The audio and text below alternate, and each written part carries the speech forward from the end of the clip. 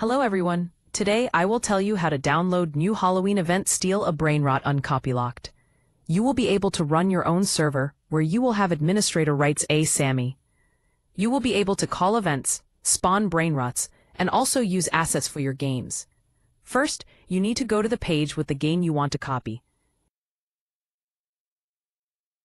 Right mouse button, inspect. Network. If there is no button, then press the two arrows and select Network from the list. Reload the page. Scroll up and right-click on the name of the game. Copy. Copy as PowerShell. Go to the website in the description of this video. Paste. Copy game. Wait about 40 seconds.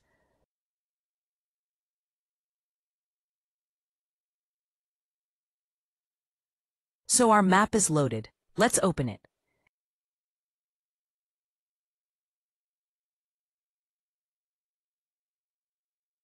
As you can see, the file is working and has an up-to-date version of the game with Halloween event. Now you can run your own server with developer rights and play with your friends or use assets for your own purposes.